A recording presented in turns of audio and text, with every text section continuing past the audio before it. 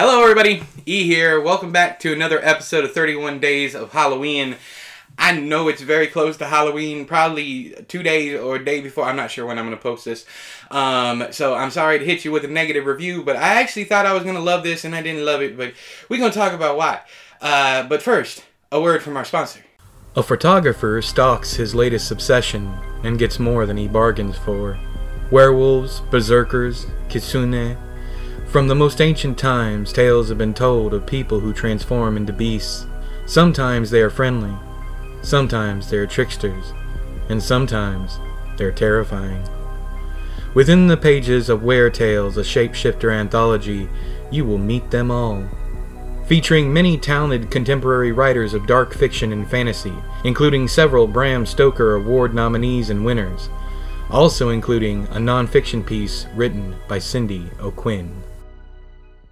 Many thanks to Brigid's Gate for sponsoring this episode. Now on with the review. Okay, so you already looked at the uh, the title of this video. I'm sure that I'm going to be seeing comments that I have no class, I have no taste, I have no heart.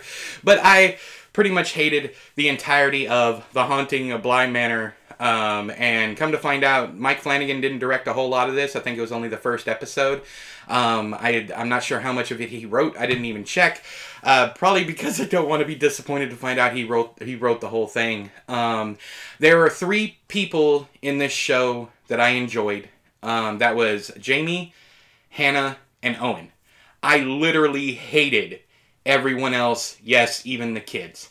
Yes, even when they were themselves. Um, and Miles aggravated the absolute piss out of me. Uh, I couldn't stand the perfectly splendid. No, I couldn't stand it. Um, it aggravated me. Miles was just trash.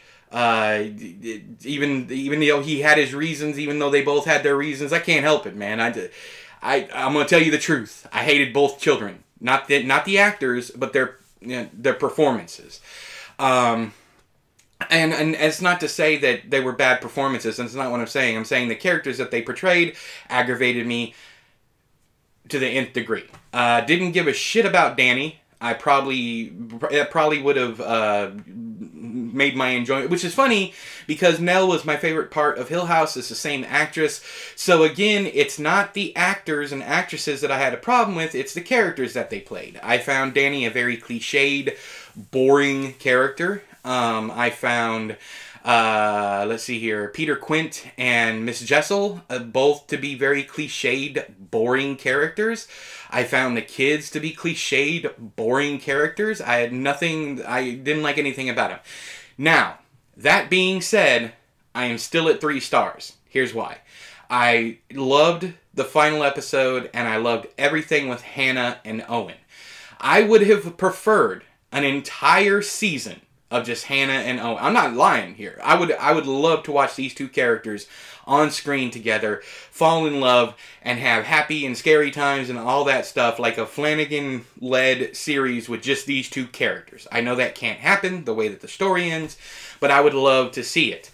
Um, I'm also a big fan of. I already like Rahul I, I, can't remember his last name. He was in Midnight Mass. He was fantastic in there. Plays a completely different character than he played in this one. Um, I didn't even know he was British um, until my oldest told me that he had he has a Twitter, um, and I went and checked out uh, his Twitter. Huge fan of that Twitter. Um, but the actress who played Hannah Grose, oh, she's fascinating, man. I had, she is she not only is she lovely to look at, she's lovely to listen to. I loved everything about her. So much so I had to keep on glancing over at my wife to see if she could tell. Yes, I had a huge crush on Hannah. Huge crush on Hannah. That actress is absolutely gorgeous. That's my opinion. I'm not going to mess around. Of course not. She doesn't. She has no interest in me. She doesn't even know who I am. But that's what I'm saying. She's an absolutely gorgeous woman. I loved her her acting. I loved the character. I loved all that. Um, and I would have loved to have seen more Owen and Hannah. I was here for that. Jamie's character was very conflicted. I loved uh, I loved the story about the flowers, all that stuff, and I believed that Jamie I guess it's kind of a spoiler, it's whatever. Jamie loved Dani I, I believe in all that. The very last episode, I, I kind of called that. That was a very, very predictable twist, especially since those two characters sounded the same. Um, but it, but with, with Dani, I don't, I didn't care at all. I don't know what it is. It gave me absolutely nothing to latch onto other than she had someone die and she feel bad. that's that's and when that's all that I get from a character is their tragedy, is their trauma because not not every ca- character is only not every person is only their trauma.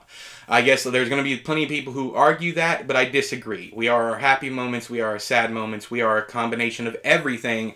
And when a character is just one note, it's kind of like, uh, and I don't want to go off on a rant here, but kind of like uh, the main character, Mar- Marjorie, Mallory, whoever it was in Bird Box, she was pregnant woman. That's all she was. We got no other character development whatsoever the entire book. Now that might have changed for uh for Mallory the uh, Ma- Major Majora's Mask. Uh, why did I literally was I literally about to say Majora's Mask? Wow. Anyways, Marjorie Mallory Marjoram whatever her name was I don't know. Um, in the sequel to that one, we might have got more. I don't know, uh, but I didn't read it because I hated the first book with a fiery passion. But um, here is it was some of the same thing. Um, I really liked Owen. He was a very dynamic character. He was more than his grief. He was more than just a caretaker. He had the mother character that you know he he had to go home to every night, and then you had Hannah, and Hannah had a very deep you know story with her uh, her own tragedies, her own happinesses, all all that stuff, and that's why I love those characters. And with uh, uh, Jamie, Jamie was another one of those really deep characters that was not only tragedy. She used the horrible things in her life to become a gardener and made beautiful things, and there is character development. There's no character development in anyone else. Everyone else in this show is just trauma, trauma, trauma, trauma, trauma. That's it. And when you that's all that you have, except for the blessings that were Hannah and Owen, if that's all that you would have had, this this would have been utter shit. It would have been um, because you need you need a significant balance of those things, and you had that in Hill House. You had the comedy, and you had that in Midnight Mass. You had these balance these balances. This one does not have any balance whatsoever. Not for me, anyways. Um, probably because I hated you know what five sevenths of the characters. Uh, literally hated. Like I did every time they came on screen, I was like, no, get back to Hannah and Owen or or, or Jamie without Dani. Um, unfortunately, we don't get much Jamie without Dani, but it's whatever. Uh, anyway, so that's how I feel about the haunting of Bly Manor. I'm giving it three stars and only three stars because I was back at two after that. Oh, episode eight was just utter garbage. Um, a huge hour-long info dump of crap that I didn't, I couldn't care less about. And some people say it's their favorite episode. I don't see it's it's whatever. My oldest said that too. Dan said that they thought that was their favorite episode. It's whatever. Uh, we we can agree to disagree there. I don't understand it. But uh, have you watched The Haunting of Bly Manor? Please let me know down in the doobly doo whether or not you loved it, whether or not you hated it, whether or not you felt meh about it, especially if you liked it, I guess. Uh, it's it's going to come down to subjective, personal things here, but because it's very personal, I just couldn't stand any of the couldn't stand most of the characters. Um, but if you want to try and convince me, you can. You can let me know why you love those characters that I hated. That'd be fun. Let me just, let me know that down there in the doobly doo. Why did you love the characters that I hated? yeah, that's what we're going to talk about. But until next time, I have been E, you have been you. This has been another episode of 31 Days of Halloween. I'll talk to you guys later. Bye bye!